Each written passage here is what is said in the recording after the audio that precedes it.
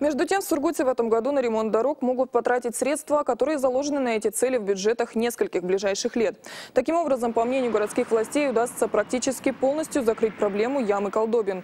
Для этого подрядчикам необходимо работать и быстро, и качественно. Сезон у ремонтников короткий. Практика показывает, что погодные условия позволяют производить укладку асфальта лишь 4 месяца, с начала июня по конец сентября.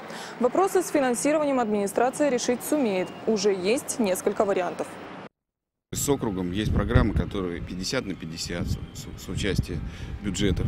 То есть мы как бы вот эти э, вещи не использовали, а вот э- это тоже можно будет использовать в дальнейшем. Поэтому, э, во-вторых, э, будем работать с бюджетом, будем работать э, на то, чтобы еще э, увеличивать э, средства э, бюджета, привлечения, э, оптимизации работы наших муниципальных предприятий.